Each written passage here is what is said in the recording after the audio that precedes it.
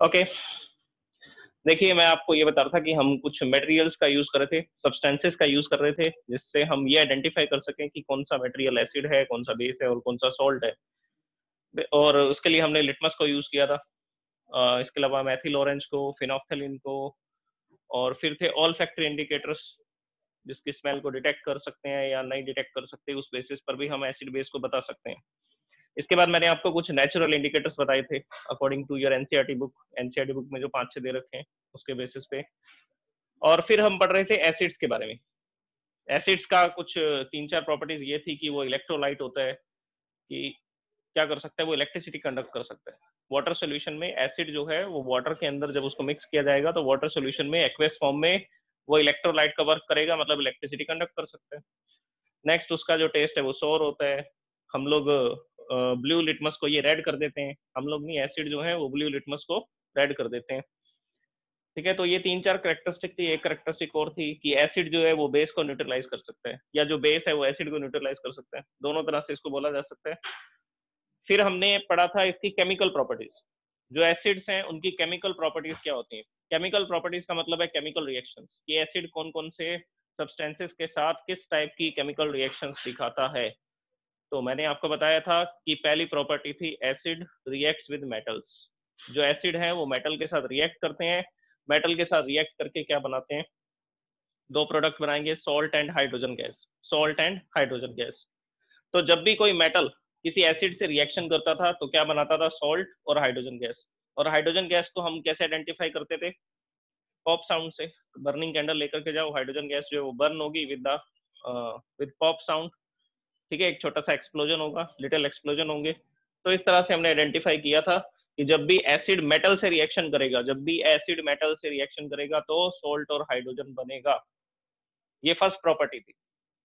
और उस प्रॉपर्टी के बेस पर मैंने आपको एक एक्टिविटी समझाई थी Z N plus H two SO four sulphuric acid में डाइल्यूट सल्फ्यूरिक एसिड में, जैसे ही हम लोग जिंक को डालते हैं तो जेड एन एसओ फोर बनता है। Z N SO four zinc sulphate is a salt और कौन सी गैस रिलीज़ होती है? Hydrogen gas. वो हाइड्रोजन गैस रिलीज़ होती है, उसके लिए हमने एक सॉफ्ट सोल्यूशन लिया था और डिलीवरी ट्यूब से हाइड्रोजन गैस जो है सॉफ्ट सोल्यूशन में डाल दी थी। सॉफ्ट सोल्यूशन में जाते ही बबल्स प्रोड्यूस होंगे और बबल्स लो डेंसिटी के कारण ऊपर की तरफ़ राइज होंगे। तो बबल्स जैसे जैसे ऊपर जाएँगे, हम उसके पास बर्निंग कैंडल लेकर के जाएँगे और वो जो बबल है वो पॉप साउंड से बर्न हो जाएगा। पॉप साउंड प्रोड्यूस करेगा जब वो बर्न होगा। तो ये एक एक्टिविटी आपने पढ़ी थी। अब कुछ इंफॉर्मेशन देखिए। आप इसको नोट में लिखेंगे, जो मैंने आपको पीडीएफ फ़ाइल भेजी है, उसमें भी ये नोट में लिखा गया है। जो सौर फ़ूड मटेरियल्स है, सौर खट्टे फ़ूड मटेरियल्स हैं, जैसे कि पिकल्स हो गए सॉफ्ट ड्रिंक्स होगी कोल्ड ड्रिंक भी कोल्ड ड्रिंक भी कुछ होती हैं, जिनका जो टेस्ट है वो सौर होता है। फ्रूट जूसेस जो जूस वगैरह हम लोग यूज़ करते हैं ऑरेंज जूस ठीक है?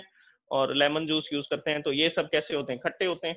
तो इनको किसमें स्टोर नहीं कर सकते? मेटल कंटेनर में स्टोर नहीं कर सकते। क्योंकि मेटल कंटेनर में स्टोर करेंगे तो डिस्प्लेसमेंट रिएक्शन होगी। तो कौन सी रिएक्शन होगी? डिस्प्लेसमेंट रिएक्शन जैसे कि ये रिएक्शन हमने लिखी थी जिंक मेटल को ले रहे हैं। मेरे पास मान लीजिए जिंक मेटल का कंटेनर है, और मैंने उसमें एच टू एसओ फोर डाल दिया। एच टू एसओ फोर डालते क्या बनेगा? जिंक सल्फेट बनेगा। जेड एन एसओ फोर और कौन सी गैस रिलीज़ होगी? हाइड्रोजन गैस चलो, अब जिस कंटेनर में मान लीजिए एक मेरे पास जिंक का कंटेनर था तो कंटेनर बनाते हैं भैया। ये एक कंटेनर है मेरे पास, जिंक का, इसके अंदर H two SO four acid डाल दिया मैंने। तो धीरे धीरे हम देखेंगे ये जिंक की स्ट्रेंथ कम होती जाएगी। इसकी जो वॉल्स हैं वो ब्रेक डाउन हो जाएँगी, ये मटेरियल उसमें से लीक करने लगेगा। एच टू एसओ फोर इसमें से लीक होना स्टार्ट हो जाएगा, क्योंकि यहाँ का जिंक कहाँ जाएगा? सोल्यूशन में। और ये जो जिंक सल्फेट बनेगा, इसके जो इफ़ेक्ट होंगे वो इरिटेशन प्रोड्यूस करेंगे। ठीक है ह्यूमंस के ऊपर क्या इफ़ेक्ट होते हैं? जो ये सॉल्ट होते हैं, जैसे copper sulphate zinc sulphate copper chloride ठीक है? तो डिफरेंट डिफरेंट टाइप के जो भी सॉल्ट बनते हैं, वो पॉइजनियस होते हैं। पॉइजनियस का मतलब है कि वो हमारी बॉडी के अंदर इरिटेशन क्रिएट करते हैं। आईज के अंदर इरिटेशन होगी कलर चेंज हो जाएगा आईज के जो रेडिश हो जाएँगी, उसके अलावा जो स्किन है, उसके ऊपर छोटे छोटे पिंपल्स हो जाएँगे और वो भी इरिटेशन करेंगे।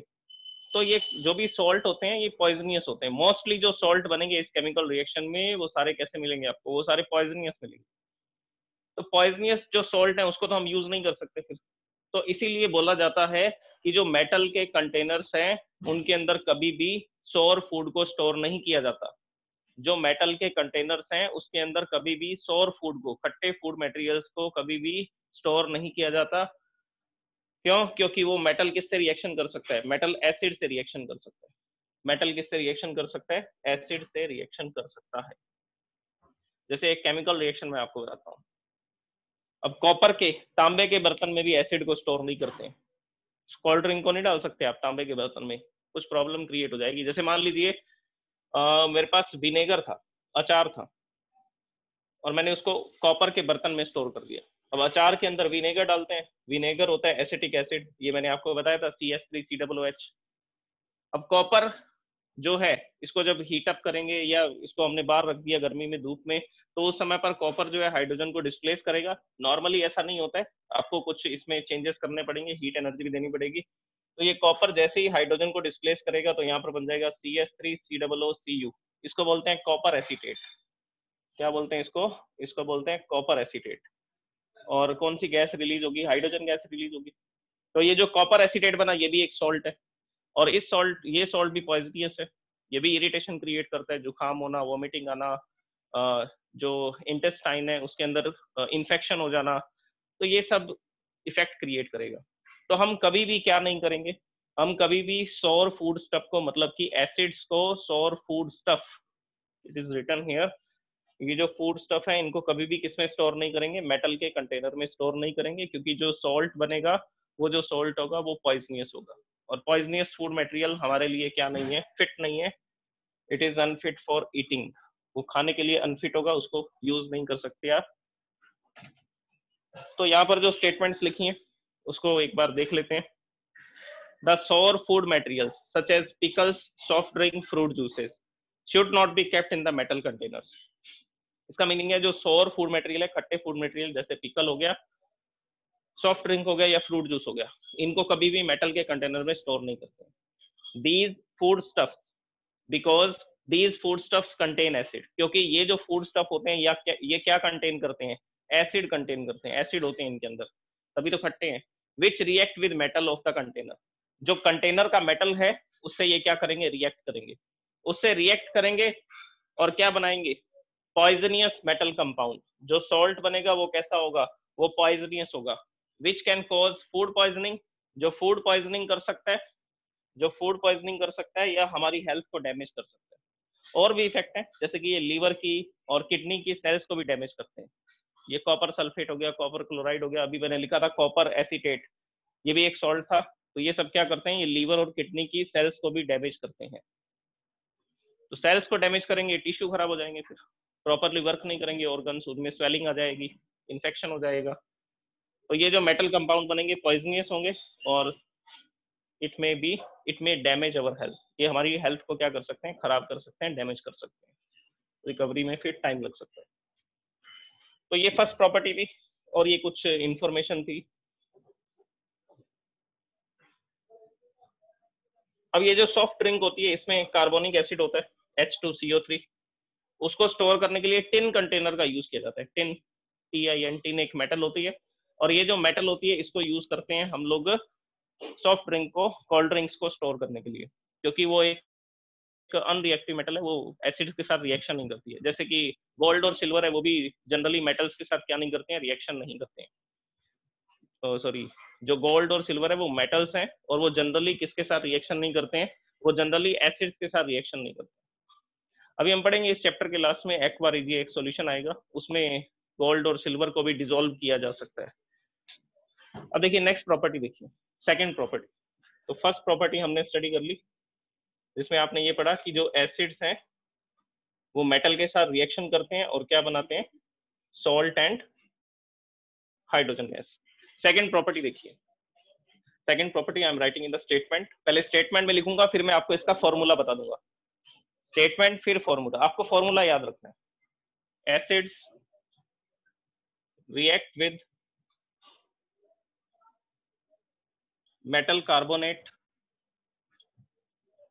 Acids react with metal carbonate and metal hydrogen carbonate. दोनों की केमिकल रिएक्शन सेम होती है. मेटल कार्बोनेट हो या मेटल हाइड्रोजन कार्बोनेट हो. Acids react with metal carbonate and metal hydrogen carbonate to form salt, water and carbon dioxide and carbon dioxide देख लीजिए जो एसिड्स हैं वो मेटल कार्बोनेट के साथ या मेटल हाइड्रोजन कार्बोनेट के साथ रिएक्शन करेंगे प्रोडक्ट सेम रहेंगे सॉल्ट वाटर कार्बन डाइऑक्साइड अब आप इसको स्टेटमेंट में याद रखिए, थोड़ा मुश्किल होगा तो मैं इसके लिए फॉर्मूला लिख देता हूँ। ये प्रॉपर्टी है, ये सेकंड प्रॉपर्टी है, ये हेडिंग है सेकंड प्रॉपर्टी की, और फॉर्मूला मैं यहाँ पर लिखता हूँ। सबसे पहले लिखेंगे metal carbonate metal carbonate acid के साथ रिएक्शन करता है या एसिड मेटल कार्बोनेट के साथ रिएक्शन करता है तो क्या क्या प्रोडक्ट बनाएगा? Salt plus water plus carbon dioxide, ये प्रोडक्ट बनेगा। Carbon dioxide is visible is visible second देखिए, ये फ़र्स्ट फॉर्मूला है। प्रॉपर्टी सेकंड है। ये सेकंड प्रॉपर्टी का फ़र्स्ट फॉर्मूला है। सेकंड फॉर्मूला किसको रिएक्शन करवाना है? मेटल हाइड्रोजन कार्बोनेट और एसिड के साथ ये रिएक्शन करता है। प्रोडक्ट सेम बनेंगे। First product is salt second product is water third product is carbon dioxide तो बड़ा ही सिंपल सा हो गया अब तो। फॉर्मूला से आपको समझ आ गया।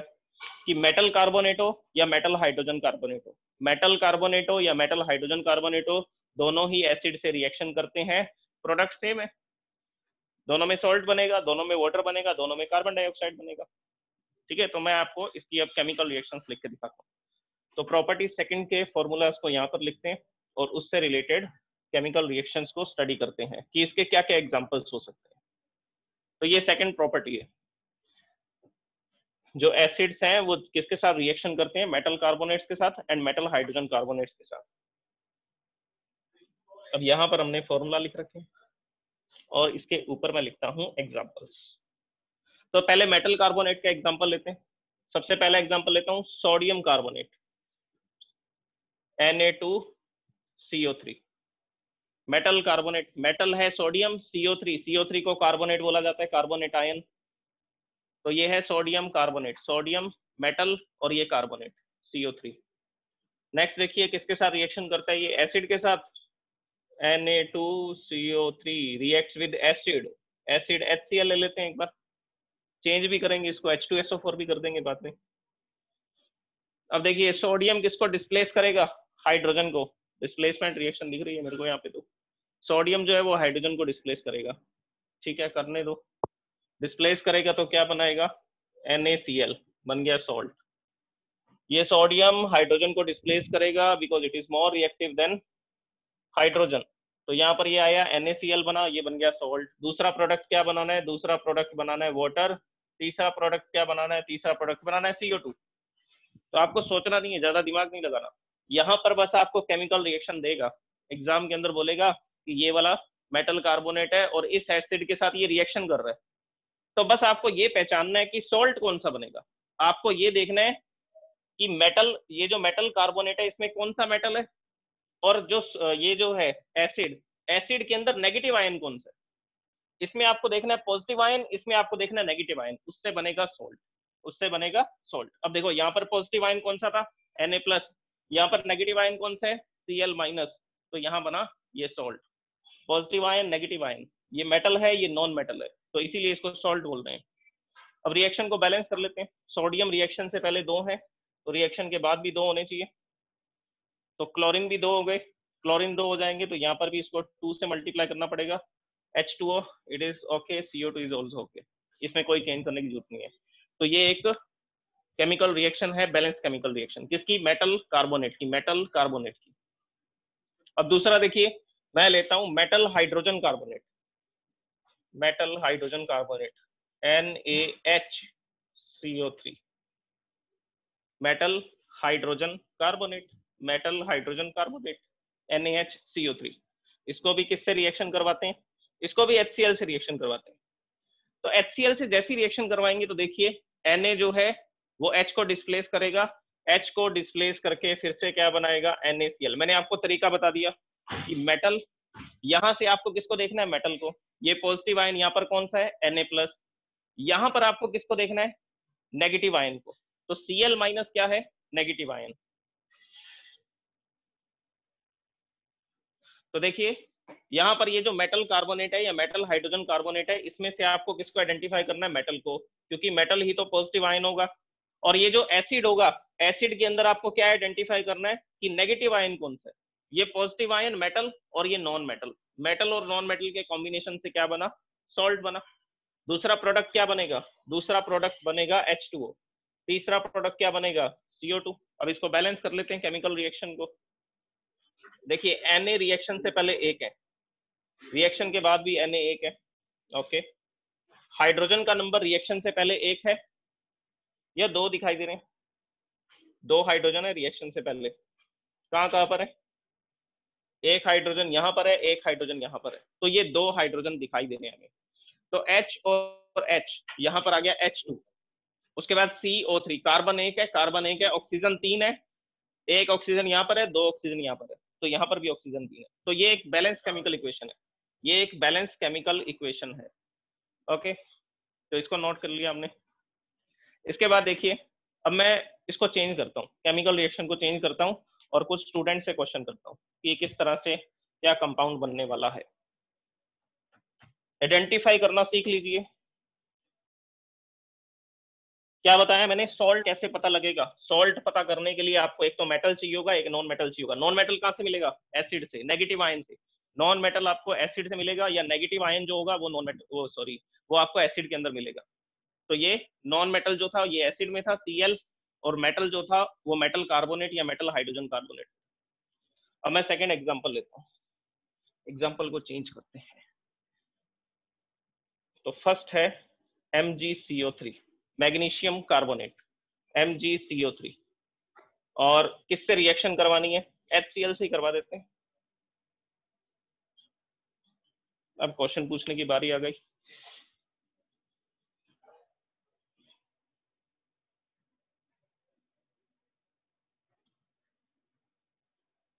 Mister Vaibhav. Vaibhav Khatri.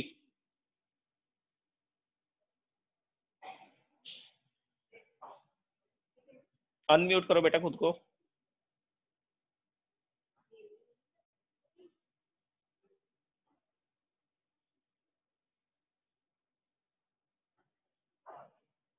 Vineet four yes mister Vineet good morning sir good morning बेटा। बताइए कौन सा सॉल्ट बनेगा? Sir M G C L two M G C L two very good जी कहाँ से लिया? मैग्नीशियम कार्बोनेट मैग्नीशियम कार्बोनेट से मेटल उठाया। यहाँ पर ये पॉजिटिव आयन है। देखिए एम जी सीओ थ्री कैसे बना था? एम था प्लस टू और सीओ थ्री के ऊपर था माइनस टू चार्ज तो हमें तो पॉजिटिव आयन उठाना ना तो ये पॉजिटिव आयन मेटल का था। और इसमें से कौन सा आयन लिया?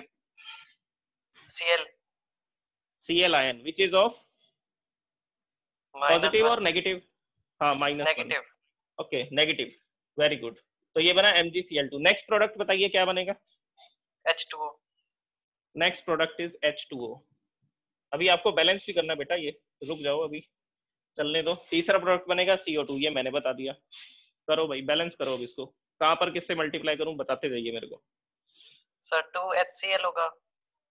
ओके 2HCl वेरी गुड बस 2HCl होगा। हाँ। और कुछ भी नहीं करना है। हो गई balance okay thank you Vineet अब नेक्स्ट देखिए नेक्स्ट केमिकल रिएक्शन में लिखता हूँ। और किसी भी एक स्टूडेंट से हम पूछ लेंगे। Magnesium hydrogen carbonate hydrogen carbonate तो पॉसिबल नहीं होगा या पॉसिबल कर दें हम H CO three whole twice M G H CO three whole twice ये बन गया magnesium hydrogen carbonate. React with H C L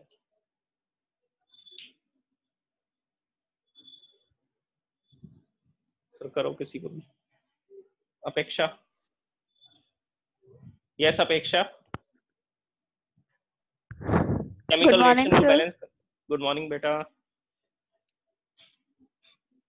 magnesium hydrogen sir carbonate इस और सर इसका सॉल्ट होगा MgCl2 और H2O plus CO2 MgCl2 H2O and CO2 balance कीजिए इसको। बैलेंस करना है। बैलेंस सर एक मिनट वेट करना पड़ेगा। हाँ जी कर लेंगे वेट कोई बात नहीं। इतनी देर किसी और से पूछते हैं। आप निकालिए इसका solution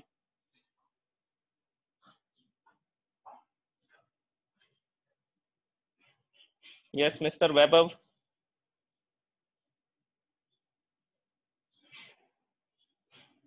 Vaibhav अपने आप अपने फ़ोन में चेक कीजिए। उसमें अनम्यूट का ऑप्शन होगा। हाँ जी बेटा आप बोलिए। Yes Vaibhav hello sir yes sir बताइए कहाँ पर क्या मल्टीप्लाई पहले- किस नंबर से? सर पहले टू एच सी एल हो जाएगा। ओके टू एच कर दिया हमने। हम्म, और हाइड्रोजन का नंबर देखो कितना हो रहा है। यहाँ पर भी टू से मल्टीप्लाई है दो हाइड्रोजन यहाँ पर है उधर भी टू है। यहाँ पर है। तो उधर सर टू और हो जाएगा। यस सर टू बराबर हो जाएगा सर अब ऑक्सीजन का नंबर भी तो चेक करना है कार्बन का भी तो करना है। ऑक्सीजन टू इधर टू है उधर थ्री है सर। इधर सिक्स है थ्री इधर- इंटू टू इसको भी मल्टीप्लाई करना होगा। इधर सिक्स ऑक्सीजन है सिक्स है उधर टू है। यहाँ पर three और आ जाएगा सर। इधर टू यस सर कहाँ पर टू करूँ बताइए? सर बाद में। यहाँ पर यहाँ पर सीओ टू के आगे? यस सर हाँ जी ये बैलेंस केमिकल रिएक्शन है। तो इस तरह से ये केमिकल रिएक्शन बैलेंस हुई। अब कुछ और चेंज करके देख लेंगे हम इसको। Okay thank you Vaibhav. Sir Apeksha को करो म्यूट अपेक्षा? यस सर आपका आंसर करेक्ट है। कर लिया बैलेंस वैभव ने सही बताया सर यस सर हाँ जी Yes, वैभव ने सही बताया। ओके ओके थैंक यू अब देखिए नेक्स्ट कोई एलिमेंट लेते हैं। कुछ और तरह का कार्बोनेट लेते हैं। कैल्शियम कार्बोनेट ले ले ले लेते हैं। Calcium carbonate C A C O three अच्छा मैं इसको चेंज करता हूँ। कैल्शियम कार्बोनेट से तो आप कर लेंगे। मैं एसिड को चेंज करता हूँ। मटेरियल वही लेता हूँ। Sodium carbonate plus H two S O four अब आपको बताना है क्या प्रोडक्ट बनेंगे और बैलेंस कैसे करेंगे। अब भैया किसका नंबर लगाए?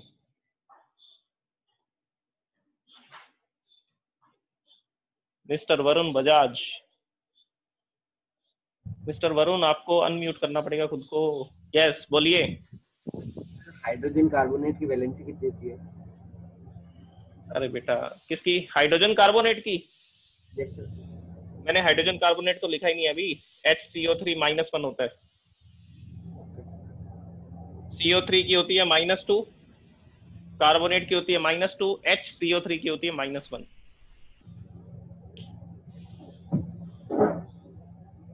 इसको बैलेंस करो। बैलेंस क्या करो? पहले प्रोडक्ट तो बताओ बेटा फिर बैलेंस करते हैं। Mister Varun yes sir NaSO4 NaSO4 दोबारा बोलो। Sodium sodium sulphate NaSO4 NaSO4 तो गलत है फॉर्मूला हाँ सर Na2SO4 हाँ बेटा Na2SO4 उसके बाद बताइए। गुड मॉर्निंग सर क्या पीना होता है?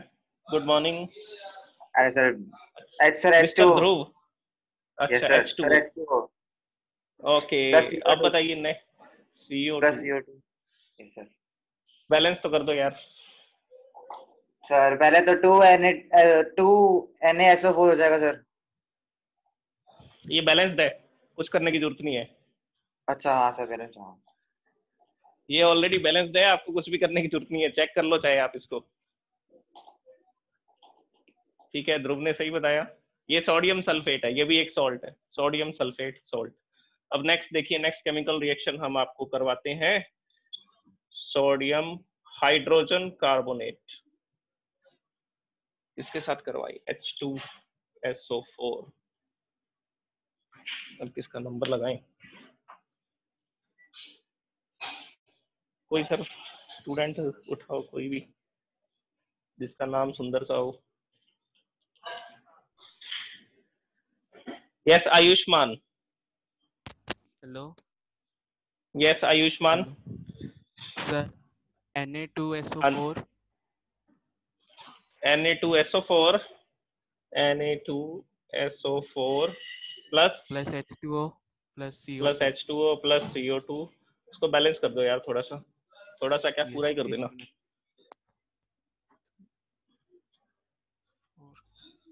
Yes mister Ayushman Khurana sorry Ayushman sir एक Gauri okay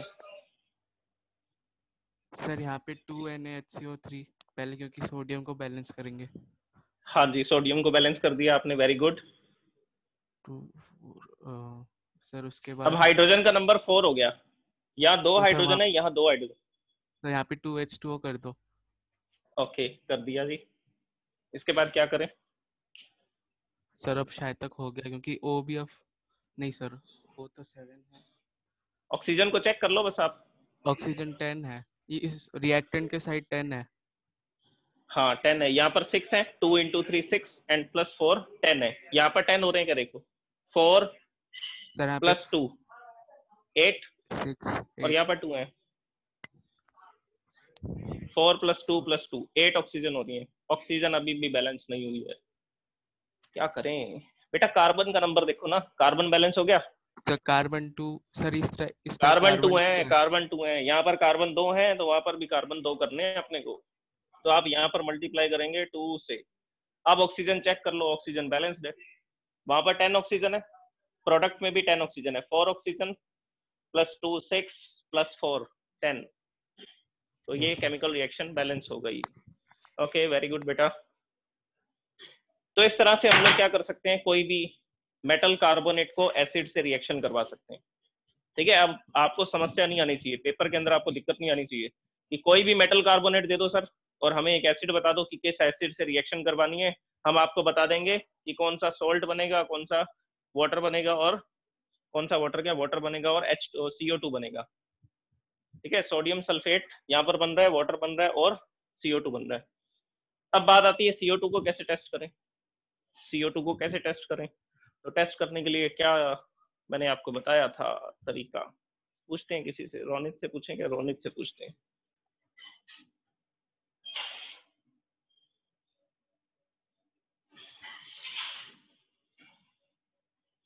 mister Ronit Ronit, unmute करो बेटा खुद को।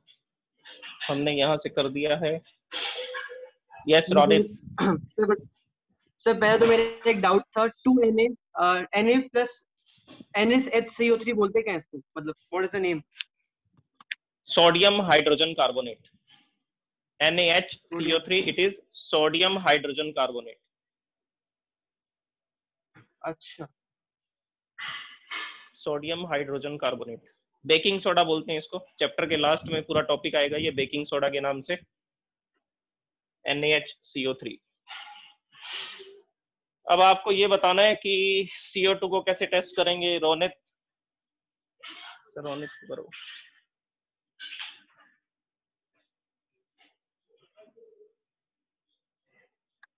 रोनित इस केमिकल रिएक्शन Hello? में CO2 रिलीज़ हो रही है। हाँ सर। तो कैसे टेस्ट करें? हमें कैसे पता लगेगा CO2 है? सर इसको सॉल्यूशन मिल्की में मतलब मिल्की टर्न हो जाएगा अगर सी ओ टू को अपन अगर कैल्शियम कार्बोनेट में डालेंगे। नो कैल्शियम कार्बोनेट में नहीं बेटा। कैल्शियम हाइड्रोक्साइड में। लाइम वाटर में डालते हैं। ये कैल्शियम हाइड्रोक्साइड होता है इसको क्या बोला जाता है? स्लेक्ड लाइम बोलते हैं या लाइम वाटर भी बोल सकते हैं जो भी आपको पसंद हो। मैं दोनों नाम लिख देता हूँ। स्लेक्ड लाइम और लाइम वाटर इसमें जैसे ही CO2 पास करते हैं CO2 कैसा हो जाता है? मिल्की क्यों हो जाता है? क्योंकि क्या प्रोड्यूस होता है? कैल्शियम कार्बोनेट कैल्शियम कार्बोनेट और ये क्या होता है? इसको हमने बोला था व्हाइट प्रेसिपिटेट ये व्हाइट पीपीटी था। पीपीटी है तो डाउन एरो लिख देंगे यहाँ पे। तो इसी की वजह से वो मिल्की हो जाता है। क्या मिल्की हो जाता है? Lime water lime water transparent होता है। कलरलेस सॉल्यूशन है। जैसे CO2 पास करते हैं कैल्शियम कार्बोनेट बनता है। कैल्शियम कार्बोनेट बनने की वजह से सॉल्यूशन कैसा हो जाता है? मिल्की हो जाता है। और एच टू बनता है इस केमिकल रिएक्शन में। प्रेसिपिटेशन रिएक्शन है ये। प्रेसिपिटेशन रिएक्शन और डबल डिस्प्लेसमेंट रिएक्शन भी बोल सकते हैं आप इसको। ठीक है? तो अब आप देखिए इसके अंदर। तो इस तरह से हमने टेस्ट कर लिया CO2 को। अब मैं इसके आगे की एक केमिकल रिएक्शन और बताता हूँ। इसके आगे की एक केमिकल रिएक्शन और बताता हूँ। अब ये कैल्शियम कार्बोनेट बन गया। अगर मैं इसमें CO2 पास करूँगा तो क्या होगा? अगर मैं इसमें CO2 पास करूँगा तो कैल्शियम हाइड्रोजन कार्बोनेट बन जाएगा which is again colourless which is again colourless लेकिन ये कब होगा? एक्सेस ऑफ़ CO2 में। ये कब होगा? एक्सेस ऑफ़ CO2 अगर CO2 हम लगातार उसके अंदर दे रहे हैं केमिकल रिएक्शन में टेस्ट ट्यूब के अंदर, अब देखिए, मैं आपको इसकी एक्टिविटी समझाता हूँ कि किस तरह से होगा। और और दोनों केमिकल रिएक्शंस मैं आपको बताता हूँ कि कैसे ये पॉसिबल होती हैं। जैसे मान लीजिए एक टेस्ट ट्यूब है मेरे पास, और इस टेस्ट ट्यूब के अंदर यहाँ पर हमने एक ट्यूब लगा रखी है, जिसकी हेल्प से CO2 इस टेस्ट ट्यूब में आएगी, और यहाँ पर हमने रबर कॉर्क लगा रखा है ताकि कोई भी मटेरियल बाहर ना जा सके। अब ये टेस्ट ट्यूब जहाँ भी जोड़नी हमने जोड़ रखी है इसको, लेकिन यहाँ से हमें पता है कि क्या आ रही है। CO2 गैस इसके अंदर आ रही है टेस्ट ट्यूब के अंदर। और इस टेस्ट ट्यूब के अंदर हमने क्या किया? टेस्ट ट्यूब के अंदर कौन सा मटेरियल डाल रखा है? टेस्ट ट्यूब के अंदर हमने डाल रखा है calcium hydroxide sorry calcium hydroxide which is lime water तो ये जो लाइम वाटर था, इसमें मैंने जैसे ही CO2 पास की CO2 पास की तो देखा ये तो कैसा होगा मिल्की हो गया। ये मिल्की क्यों हो गया? क्योंकि मैंने अभी एक केमिकल रिएक्शन लिखी थी, देखिए।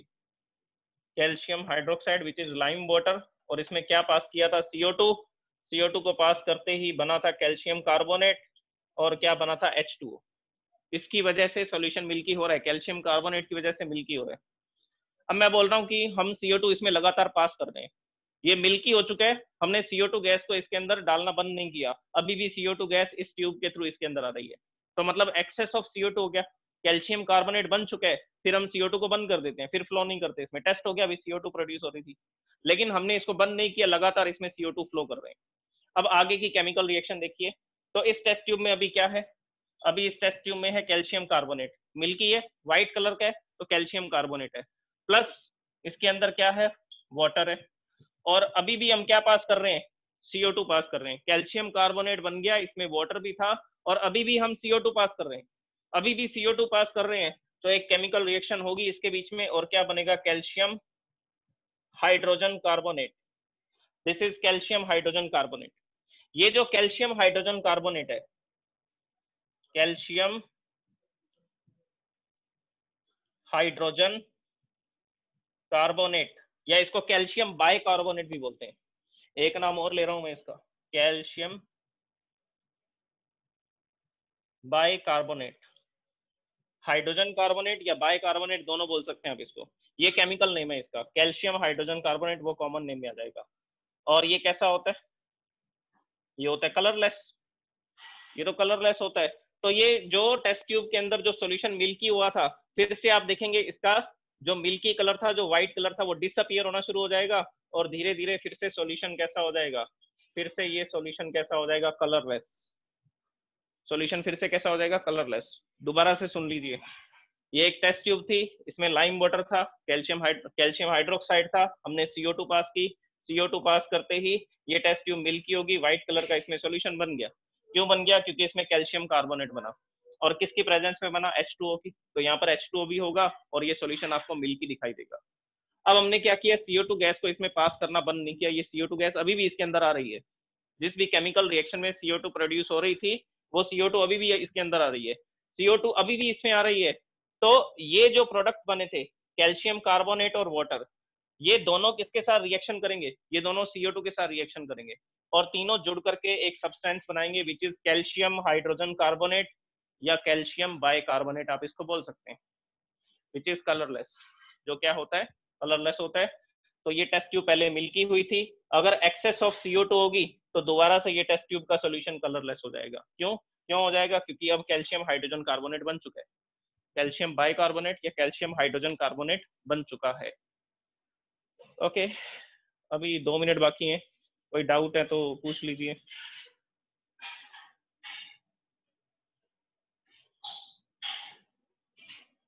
किसी को डाउट नहीं है? Very good thank you so much अभी आप इसको रीड करेंगे पीडीएफ फ़ाइल में से।